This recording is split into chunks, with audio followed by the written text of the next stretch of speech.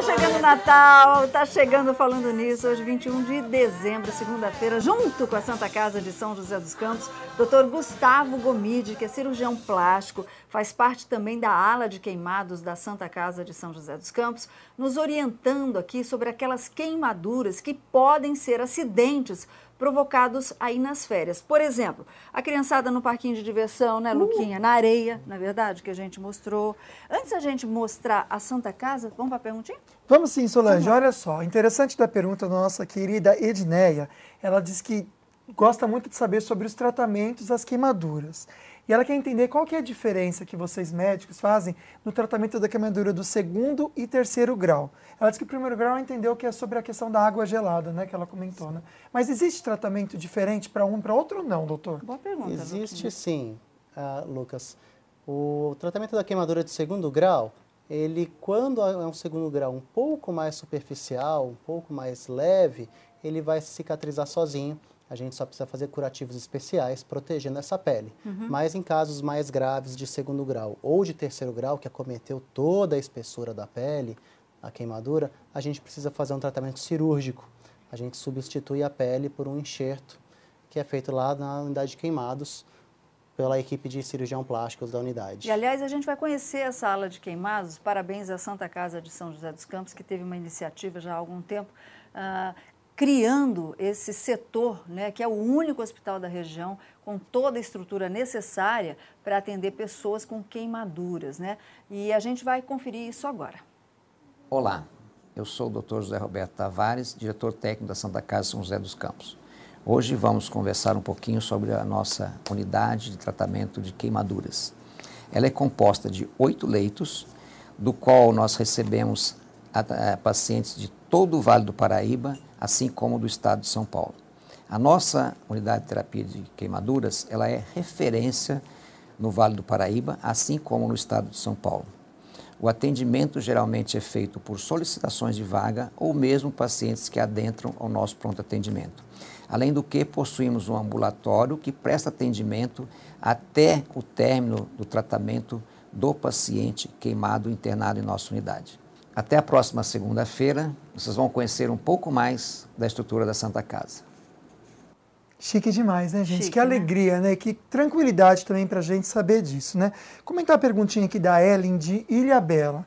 Ela disse que sofreu uma queimadura feia no meio do ano. Passou babosa para bronzear e teve queimadura por todo o corpo. Uma cirurgia pode corrigir de repente essas manchas, doutor, ou não? Beijo. Lucas, se o problema dela foram manchas, aí provavelmente ela não vai precisar de cirurgia, ela vai precisar de algum tratamento estético para tentar clarear essa pele, é, corrigindo o defeito que ficou. Uhum. Mas isso precisa ser avaliado para ver qual a melhor opção para o quadro dela. Gente, presta ah. atenção naquilo que você vai passar no corpo para se bronzear, né? Porque não é só questão de ficar com uma cor bonita. A questão também tem o câncer de pele. Antes da gente conferir essa temperatura mais alta e registrada pelo mundo, eu gostaria de fazer uma outra pergunta é, referente a esses acidentes que acontecem aí nas férias com a criançada e com os adultos mesmo. A gente já viu que a areia pode queimar, é, fivela do cinto de segurança, fivela da cadeirinha, aquela coisa toda. A gente comentou do trânsito, né, doutor? Dos congestionamentos, muitas vezes aquele mormaço o tempo todo com o carro parado. Isso para o bebê pode ser muito grave? Isso é muito grave, Sol, porque a criança fica exposta durante longas horas à radiação solar.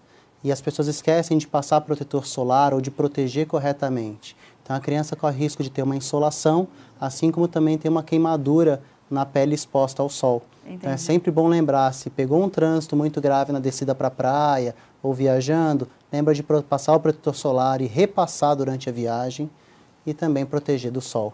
É, exatamente. Temperaturas altas. Aliás, temperatura alta, né, Luquinha? Pois é, bora ficar por dentro da curiosidade do dia de hoje.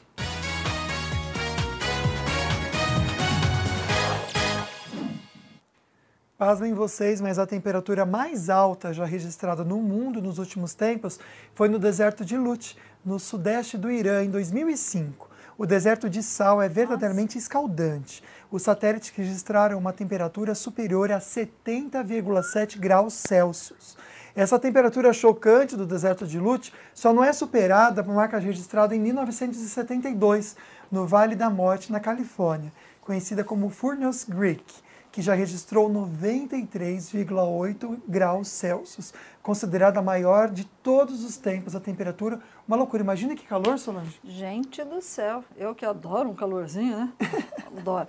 Doutor, deixa eu fazer um alerta também em relação aos bancos de couro dos carros. Né? O banco uhum. de couro também pode provocar queimadura? Pode sim, só porque o banco de couro ele acaba absorvendo muito do calor do sol.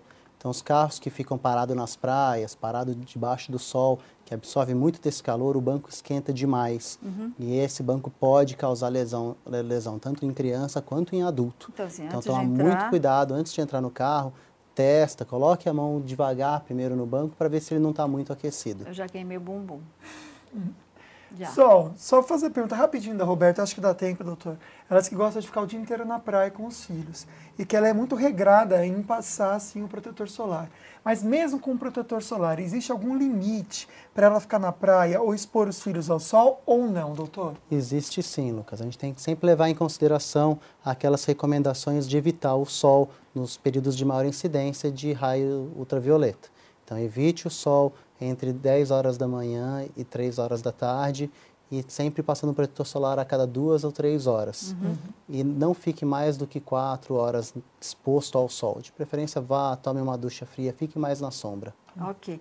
Dá tempo de mais uma última perguntinha que chegou aqui pelo Falando Conosco, é um alerta, aliás, de pessoas que estão na praia se divertindo aí. O Ricardo Matos, ele diz o seguinte, que eles adoram fazer um churrasquinho durante as férias e nessas festas todas. E ele queria que o senhor fizesse alerta em relação à queimadura pelo álcool, né? Porque muita gente ainda não usa o álcool gel para fazer o churrasco. Só esse é um dos grandes malefícios que a gente tem no nosso país, que é o uso do álcool. Ele é causador de queimaduras com muita frequência ele não é necessário para acender churrasqueira alguma. A gente tem o álcool gel, que muitas vezes não pega também, mas existem vários aparatos uhum. para poder ajudar a acender a churrasqueira. O álcool é perigosíssimo, tem pessoas que usam inclusive combustível, álcool combustível para acender churrasqueira. Ele causa lesões e queimaduras gravíssimas, muito pior que outros tipos de queimadura. Então, tomar muito cuidado, gente. For acender churrasqueira, compre um produto adequado. Existem diversas marcas no supermercado disponível.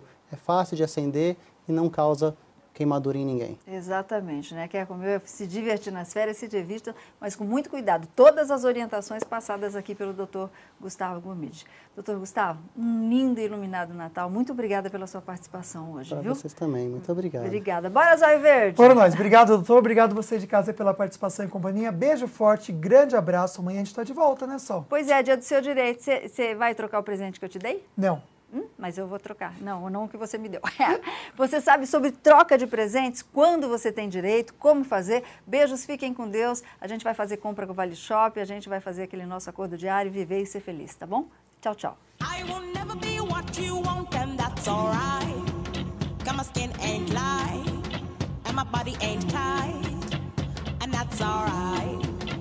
But if I might, I'ma stand and fight.